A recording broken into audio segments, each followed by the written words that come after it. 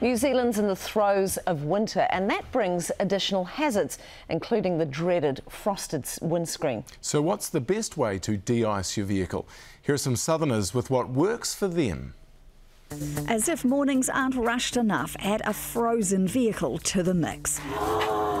When the wipers won't cut it and no heat from the heater, what can you do? We asked you and you lit up our inbox.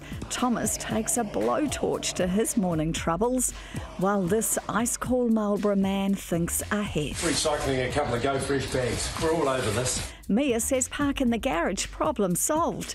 Mia, you're a winner all the way. Cold, frosty morning. I bet they see some humdingers in Peel Forest, South Canterbury. So we just go for the coverage. Some of you suggested whipping out the credit card. It's what we do in a crisis, right?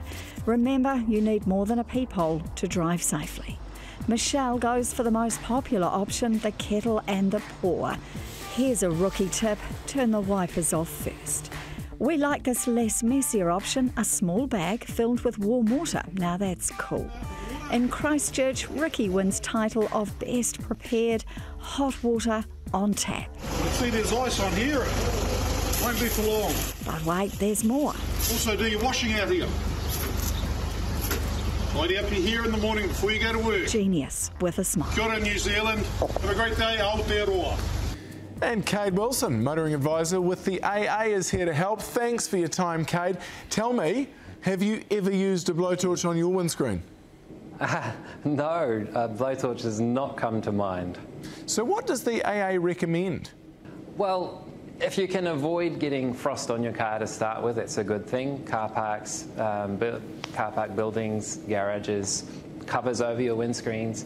But if you can't and you come out and you've got ice on your windscreen, then first turn your heater and air conditioning system on, get that cranking to warm the car up, and uh, you can pour room temperature water over the windscreen to try and dissolve the ice.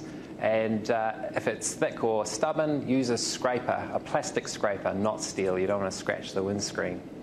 How often do you hear of people pouring boiling water on their windscreens, frozen windscreens?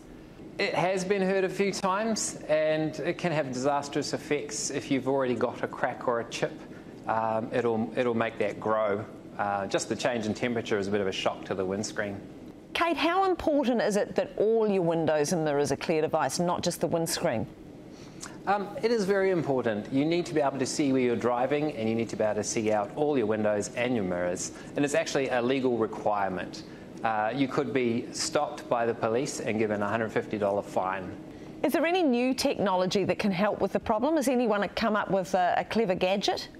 Um, there are wives' tales and, and, concoctions you can make to try and prevent it, but um, a lot of the modern cars and new cars that we test have systems built into them uh, where you can set the car to precondition to uh, not only in summer to keep the car cool, but in winter to warm the car up before you go out to it.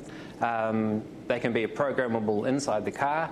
Um, or you can have a mobile app on your phone where you can um, log in and uh, change the settings on your car to have it warm up or start.